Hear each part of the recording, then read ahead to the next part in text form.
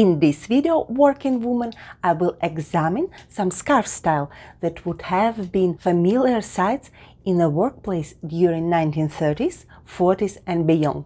But first, let's talk a little bit about the popularization of the headscarf in this period. In the early 21st century, as a female emancipation gathered place, more women entered the workforce and gained the right to vote. As a practical garment, the headscarf was taken up as a hair covering in factories and other places employing female labor. Let's not forget that at this time the issue of health and safety was largely the concern of the individual and not the employer or state.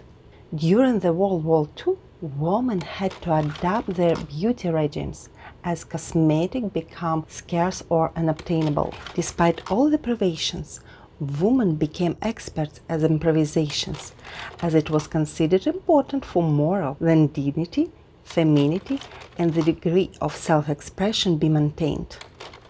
The illustration shows a young Princess Elizabeth training to become a motor mechanic. The ladies are wearing different blouses, so I think she has yet to qualify for the Auxiliary Territorial Service uniform. This is a still picture from the 1943 film Millions Like Us a patriotic story concerning a group of women helping the British war effort on the home front by going to work in a factory making parts for aircraft. Anne Crawford, who played the part of Jennifer, an upper middle class girl, initially looks a little out of place in the work environment. An interesting fact the design of her scarf is Happy Landing by Jacqmar. This scarf for not cheap cost 55 shillings for a decimal currency. Today the value would be closer to 300 pounds sterling, almost a price for a Carré Hermes. I believe Jennifer also wore a scarf called London Wall, though I am unable to confirm this. I think the theme of the film, we are all in this together, resonates well today. And now let's tie our scarf. This is the picture that inspired me to make this tutorial.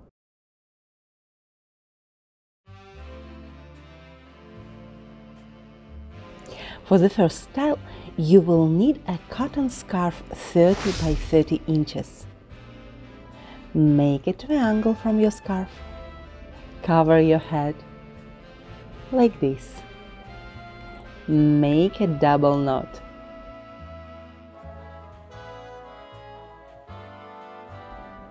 Shift the scarf backwards. Hide the ends and make two wings on the top. By the way, if you like scarves, make sure to subscribe and hit that bell button to get notifications.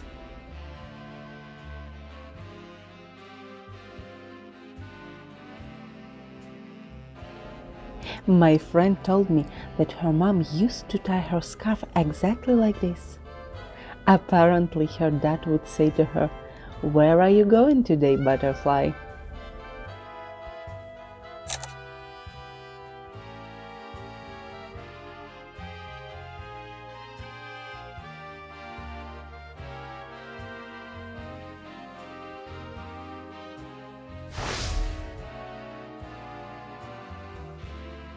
Take the corners of your scarf like this.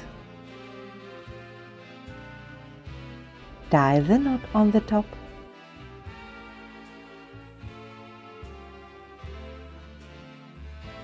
Take two other corners, twist a roll like this. Cover the first knot. Tie the ends under your hair. Form a band. By the way, if you like vintage scarves, I will leave a few links to some lovely scarves on Etsy.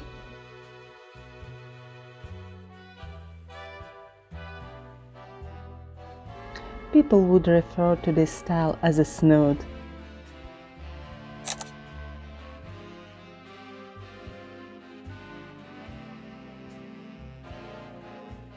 For the next style, take the corners of your scarf, slip them beneath the back hair and make a knot on the top.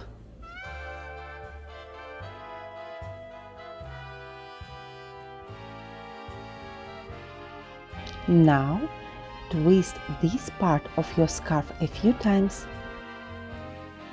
Make a knot.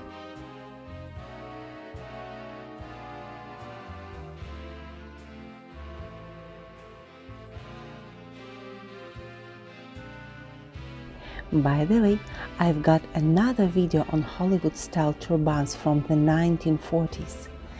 It is very helpful and I will link this video at the end and in the description.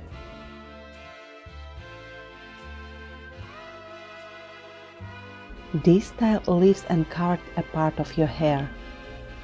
This look very unusual.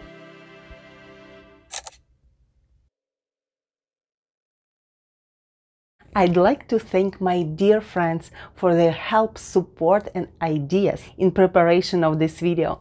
Thank you.